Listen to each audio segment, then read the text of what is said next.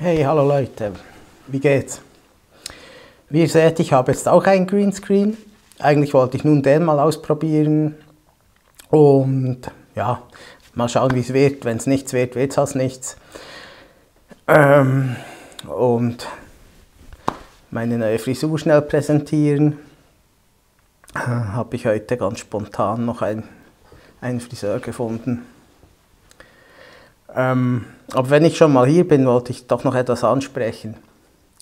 Und zwar ähm, seid ihr auch so gespannt, was bei Tesla passiert gerade.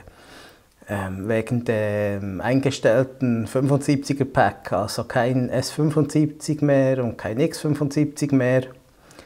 Was bedeutet das?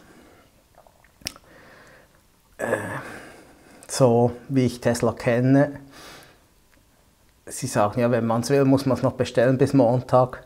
Vielleicht nicht Montag, aber kurz danach wird wahrscheinlich was Neues kommen. Und ich denke nicht, dass das einfach nur äh, sein wird, dass es nur noch das 100er Pack gibt. Also was passiert? Das ist die große Frage. Ich könnte mir vorstellen, und ich fände gut, wenn man äh, irgendwie langsam halt auf die neuen Zellen, die auch im Model 3 stecken, gehen würde. Da würde man sicher etwas mehr Kapazität reinbringen. Könnte wahrscheinlich auch schneller laden für das Supercharging V3, das ja dann irgendwann mal kommen soll. Und ja, was passiert dann? Gibt es das 100er Pack mit den alten Zellen und ein größeres mit den neuen? Oder was anderes. Wie werden sich die Preise entwickeln? Bisher wird Tesla immer nur teurer, teurer, teurer. Irgendwann muss das doch ein Ende haben, irgendwie. Ähm, und das 100er Pack ist ja also schon sehr teuer verglichen mit dem 75er.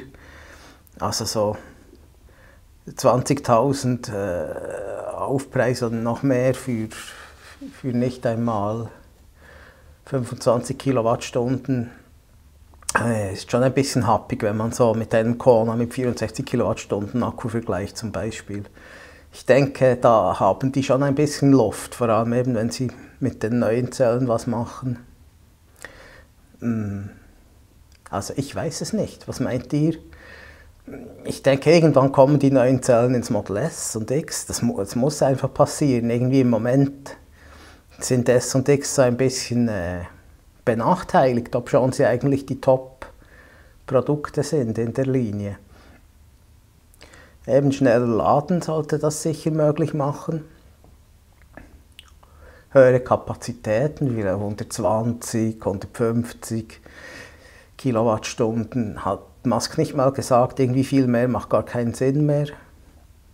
Kann man sich natürlich darüber streiten, ein größeres Pack lebt äh, länger, kann schneller laden, das heißt ja nicht unbedingt, dass man die Reichweite auch jeden Tag äh, ausfahren muss. Kommt natürlich schlussendlich einfach wirklich auf, äh, darauf an, wie teuer sie das anbieten können. Naja gut, ich will gar nicht viel weiter rumfabulieren. Ähm, ich weiß es nicht. Was meint ihr? Ich bin auf Kommentare gespannt. Und bin jetzt mal gespannt, äh, ob der Greenscreen da funktioniert, wie er soll und wie das aussieht. Und ich lasse euch schon mal wieder ins Wochenende.